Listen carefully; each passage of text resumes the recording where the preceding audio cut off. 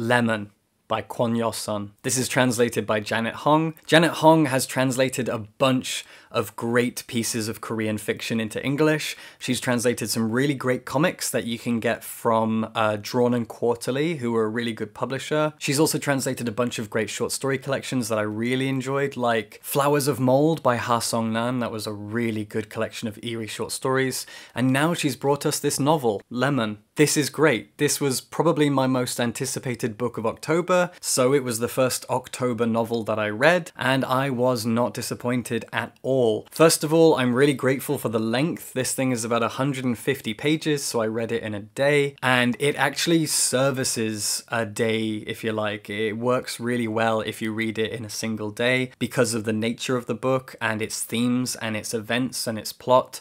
It just works as almost like a film. You know, if you read it as though you were watching a film from beginning to end in one go, it works really well. So if you can find the time, if you can find an afternoon to do that, I really recommend it. As I said, this is written by Kwon Yeo-sun, who is an author that I have never read before. This might be her first book in English translation, I'm not sure. Correct me if I'm wrong. But Lemon is brilliant. It is a drama about the people who are left behind after someone dies, especially if someone dies tragically, unexpectedly, and in a very cruel and gruesome way. It's disguised as a crime story, as a whodunit mystery, but it's not that. It is playing on the tropes of that genre while doing its best to explore what death really does to people who are still alive. So let's backtrack and talk about what it's actually about. There was a girl in 2002, she was a high schooler, and her name was Kim Hae-on. She died. She was murdered, and there are two suspects. She was last seen in the SUV of this rich boy. He's one of the suspects. The other suspect is a young, poor, very simple minded teenage boy who happened to see her just before she died. And the book begins with an interrogation of him. As the interrogation goes on, he sets the scene. He worked for a chicken shop and he would go out and do deliveries on his moped, and he gave this other girl a lift and while they were at a stoplight, the SUV pulls up beside them and they see, oh, it's that pretty girl from school. And he describes what she's wearing, but then it turns out later that that's not what she was wearing. What she was wearing was the yellow dress you see on the cover. And she was in the car of the rich boy. And then, next thing you know, sometime that night, she's murdered and her head is caved in. Did the rich boy do it? Did the poor boy do it? Well, neither of them get put away for it. There is not enough evidence to convict either of them, and the poor boy doesn't even seem to have a motive. And so life goes on. And then the bulk of the novel is told from two different perspectives. One is the young sister of Kim Hae-on, Kim Da-on. It's about her growing up, her relationship to her sister after she has passed, and it also tells a bit of the story from the perspective of a girl who was in their class, and she and Kim Da-on run into each other later on. And so through these two girls' perspectives, we get to learn about the murder, we get to learn about their lives and what happened after death, for them who are still alive at least. The only thing that confused me is that both of these girls' perspectives are told in the first person, and so for the first few pages of each chapter, you're not sure whose perspective this is, whose eyes you are looking through. And that could have been solved if one of them had been written in the third person, but that's literally my only gripe with this book. There's that old sentiment that funerals are really for the people who are still alive. A funeral is not for the person who has died. A funeral is for us to say goodbye, for us to get some closure, for us to weep on each other's shoulders and find a sense of family and community in the death of a loved one. And that's pretty much what this whole book is about, is that sentiment, that feeling, that concept that death leaves a mark on people and how do we continue on as living people beyond the death of someone we loved and the age of that person our relationship to them the mode and manner of death, whether or not it was expected or unexpected, all of these things factor into how we live beyond death. And all of that is really plain to see in this book. Now, the characters themselves are pretty interesting people, especially Kim Daon, who is the young sister of the girl who died. At one point, we see her through the eyes of the classmate, and she is doing her best to look like her sister. She's in college now, so she's a little bit older than her sister was when she died, and she's dressed like her sister did. She's had facial surgery to try and make herself look more like her sister. She's lost loads of weight because her sister was really waifish, and it's like she's trying to embody her sister as best she can. We see their lives through her actions, her behavior, and how she chooses to live afterwards. But the crime, the murder, the mystery, the whodunit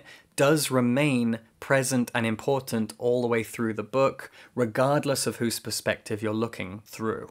And you do wonder all the way through who done it. It is a mystery and it is enticing, but it's also not really the point of it. But because there is a who done it mystery involved, it does keep you pushing on because there's always going to be a part of you at the back of your mind that is wondering and hoping that by the end you will find out who done it. But the way that the who done it is explored in the second half of the book actually is fantastic. But again, not in a whodunit sense. The reason it's fantastic isn't because you are learning about the murder and the motives and the victim and the abuser, etc. None of that. It's about the method that it's explored in and through. Kwon Yeo-sun writes a few of these chapters that are about the murder and the murderer in a really interesting way. The, the method of writing, and I can't talk about it without spoiling things, and I don't want to, but there is, and you'll see it when you read it, there's a method, there is a style of writing that she explores through two specific chapters that I absolutely loved, and they were my favorite parts of the book in terms of their presentation and expression of character and words and dialogue and everything. But I can't talk about it at all. You'll see it when you get there yourself. And it's my favorite part of the book. And it really explores the method of conversation between two people when we are only focusing on one of those two people. That's all I can really say. You'll see. It's really good. So as you can tell, this is a difficult book to review because it is a murder mystery, but it's very much not. As I said, this is a character drama first and foremost, and it's about the people who are left behind. We do learn more and more about one of the murder suspects, the simple boy, and what happened to him and his lot in life. Christianity also plays a big role in this because Korea is a very heavily Christian place, and the subject of whether or not some character is Christian, uh, it comes up a lot. There's a lot of one on one conversations throughout this book. In fact, almost every chapter is a one on one conversation between two people, and Christianity and our relationship to it comes up a lot. I wouldn't say that thematically it seems to play a big role, but it does a good job of fleshing out our characters in terms of their relationship to death, their motivations, their behaviors, etc., etc. It's about the characters and about their lives and whether or not they are Christian does factor into their behavior, as I said. I would say that my favorite aspect of this book is actually its delivery. I really like the way that language is used. I really like the way that the chapters are structured. I really like the slightly off kilter dialogue between people. Sometimes the way that people talk seems a little bit broken, caricatured even and i really enjoyed that. It gives it a sense that the book is floating that it doesn't quite have its feet on the ground. And i thought that that was really effective and i love that in her translation janet hong manages to capture that really well. I find korean literature often has this floating quality. You get small novels that have a slightly surreal tinge to them just just a slight tinge of the surreal. And again that is really present here in lemon. I thought that it worked brilliantly. So it's about the mood the atmosphere and the presentation first and foremost for me at least. That's what is going to stick with me. As well as this gorgeous cover head of zeus have done a really good job of selling this through its cover alone. I think this cover design is fantastic. And while i'm here talking about it i will say that as you can see underneath the dust jacket the hardcover itself is yellow so the the yellow the lemon theme keeps going. But that does bring me on to my only bit of confusion. Maybe it's my bad literacy. I'm not sure. But i didn't really get what the lemon thing was all about. The girl kim hae-on when she died was wearing a yellow dress.